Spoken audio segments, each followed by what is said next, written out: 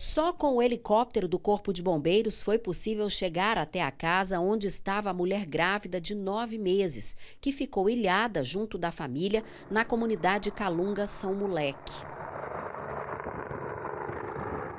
Mais de mil famílias estão isoladas na Chapada dos Veadeiros por causa da cheia dos rios, a maioria em Cavalcante. Casas e lavouras estão debaixo d'água. As prefeituras de Cavalcante e Monte Alegre de Goiás decretaram estado de calamidade pública. O governo enviou cestas básicas para a região. A nossa prioridade é, é atender as pessoas que estão em necessidade. E para isso eu peço a vocês também que procurem a primeira-dama, procurem assistência social, que a gente vai estar lá dando o apoio para vocês necessário. E na casa de vocês também, quem está na zona rural, que está ilhado.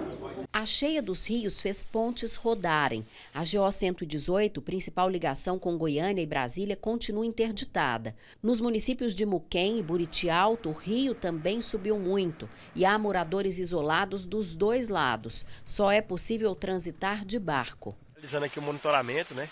Da, do rio Bagagem, das balsas aqui, auxiliando as pessoas no transbordo, onde elas precisam passar aqui para estar tá levando mantimento, água potável. E hoje Infelizmente as chuvas continuam e o rio aumentou aí uns 4 a 5 metros de altura. E o rio aumentou muito a largura dele, dificultando ainda mais esse transbordo das pessoas.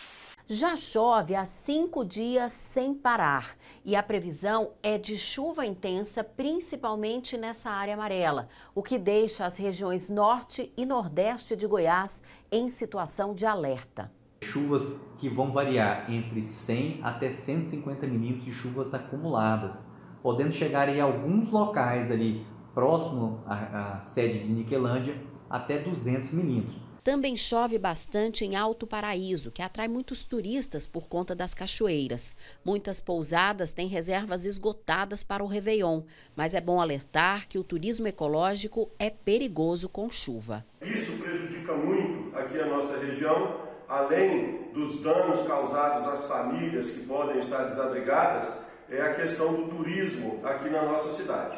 Mas os acessos aos pontos turísticos, tanto aqui a Alto Paraíso quanto no distrito de São Jorge, estão funcionando normalmente.